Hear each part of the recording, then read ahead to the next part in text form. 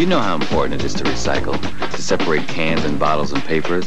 That's just half of it. Here's the other half. We need to buy recycled products. So if you have a choice, always buy the recycled one. There are two simple rules. First you take it back, then you buy it back. That's really taking it back home. So take it back. Buy stuff that's recycled. Recycle the stuff you buy. Take it back.